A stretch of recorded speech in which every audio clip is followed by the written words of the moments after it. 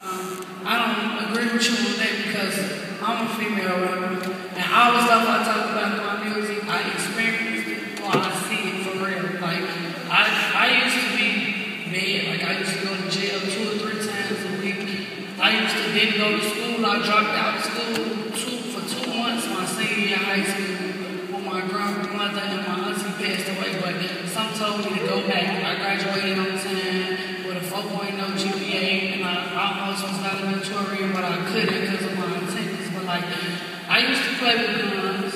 I I'm fighting a gun case right now, but I mean, like, for me, the experience, like, for me going through that, that helped me become a better person today. Like, right now, I, I want a better life for my little brother. Like, the stuff I talk about in my music, I tell him I want better for him. Like, that's why I grind every day, and I'm humble because I want my little brother. Like, don't get me wrong, I'm from the projects. I where I came from. But I want a better life for my little brother. Like, I don't want to have to worry about me having to see him playing, playing with a gun or somebody wanting to hurt.